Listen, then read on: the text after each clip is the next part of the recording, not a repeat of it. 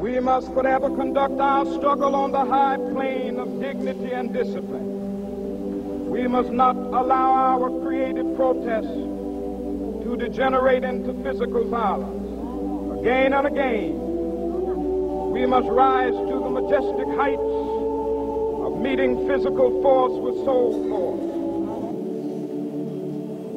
The echo of Martin Luther King's words have traveled across oceans, through the walls and metal bars of a Bahraini prison, and into the overcrowded and filthy cell I sit in. Sometimes through his words, Martin Luther King has become a companion, a cellmate more than a teacher. In a letter, I told the prison administration that I will not be wearing the convict's clothes.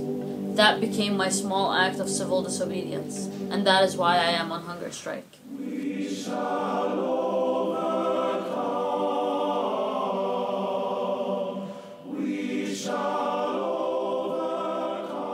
A doctor came to see me and said, You might go into a coma. Your vital organs might stop working. And all this for what? A uniform?